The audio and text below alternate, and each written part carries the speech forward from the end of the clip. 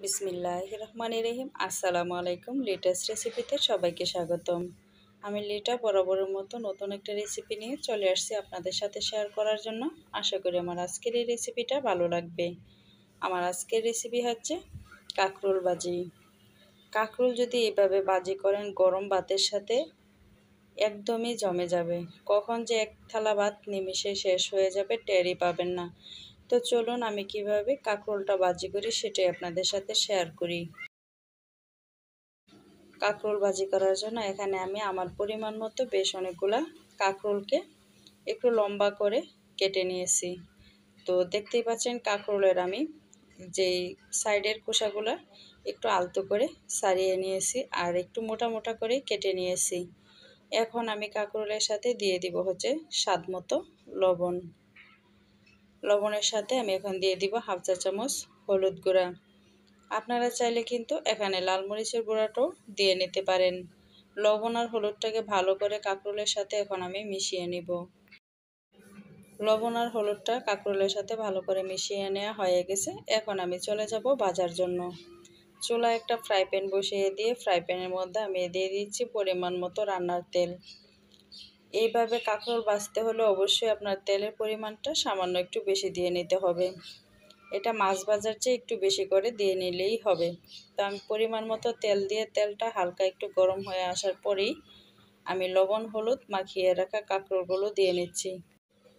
Video শুরুতে একটা কথা বলে নিচ্ছি, যারা আমার চ্যানেলটা নতুন ভিজিট করতেছেন এখনও চ্যানেলটা সাবস্ক্রাইব করেননি, প্লিজ চ্যানেলটা সাবস্ক্রাইব করে সাথে থাকা বেলাইকনটা অল করে দিবেন।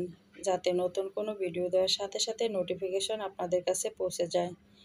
তো আমি এখন কাঁকরোলগুলোকে ভালো করে উল্টিয়ে পাল্টিয়ে ভেজে নেব। আপনি যদি একটু কড়া ভাজা খেতে চান, সেক্ষেত্রে কিন্তু ভাজাটা একটু ব্রাউন কালার করে ভেজে নিতে পারেন। তো আমি এখানে সবগুলো কাঁকরোলই কিন্তু উল্টিয়ে দিচ্ছি, যাতে করে দুইটা পাশ সুন্দর করে ভাজা হয়ে যায়। তো কাঁকরোলগুলো আমার ভাজা হয়ে গেছে। এখন আমি এই তেলের মধ্যে আবার দিয়ে দিব বাকি যে কাঁকরোলগুলো আছে সেগুলো। তো বাকি কাঁকরোলগুলো দিয়েও আমি সেমই কিন্তু আগের কাঁকরোলগুলোর মতো উল্টিয়ে পাল্টিয়ে ভেজে নেব। আর এই অবস্থায় কিন্তু চুলা আঁচটা একটু লড়ছে, একটু মিডিয়াম রাখতে হবে, কারণ এটা বাড়িয়ে দিয়ে যদি আমি ভাজি তাহলে কিন্তু কাঁকরোলগুলো পড়ে যাবে। তো আমার সবগুলো কাঁকরোলে কিন্তু আমি আবার উল্টিয়ে দিয়ে নিয়েছি, আবার উল্টিয়ে একটু দেখে নিচ্ছি, যদি আমার দুইটা পাশ ভাজা হয়ে যায়, এখন আমি নামিয়ে নিব। তো কাঁকড়গুলো ভাজা হওয়ার পরে আমি নামিয়ে নিয়েছি। এখন আমি এই তেলের মধ্যেই দিয়ে দিচ্ছি এক কাপ পরিমাণ পেঁয়াজ কুচি। কাঁকরুলের এই বাজেটার মধ্যে পেঁয়াজের পরিমাণটাও কিন্তু একটু বেশি লাগে। কারণ পেঁয়াজের পরিমাণটা যতটা বেশি দিবেন, তাহলে কিন্তু আপনার কাঁকরোল ভাজাটাও কিন্তু ততটাই স্বাদ হবে। দিয়ে দিচ্ছি পরিমাণ মতো লবণ। এই লবণটা জাস্ট শুধু পেঁয়াজের স্বাদটা বজায় রাখার জন্য। কারণ আমি কিন্তু আগেই লবণ মাখিয়ে নিয়েছিলাম কাঁকরোলের মধ্যে। তার জন্য কিন্তু আর আমার আলাদা করে লবণ দিতে হবে না। তারপর এখন আমি দিয়ে দিচ্ছি সামান্য পরিমাণ হলুদ গুঁড়া। এই হলুদ গুঁড়াটা হচ্ছে পেঁয়াজের কালারটাকে একটা সুন্দর কালারে নিয়ে আসার জন্য।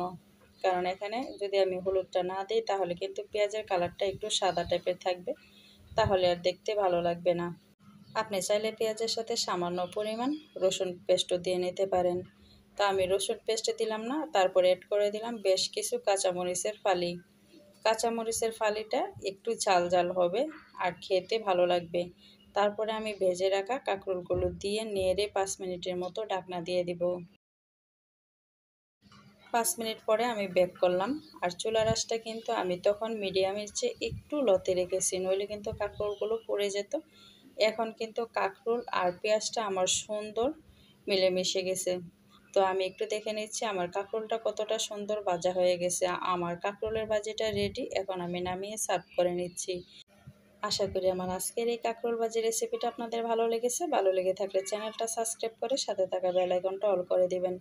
দেখা হবে নতুন কোনো রেসিপিতে সে পর্যন্ত সবাই ভালো থাকবেন আর সুস্থ থাকবেন। সবার জন্য অনেক দোয়ার ভালোবাসা রইল। আল্লাহ হাফেজ। আসসালামু আলাইকুম।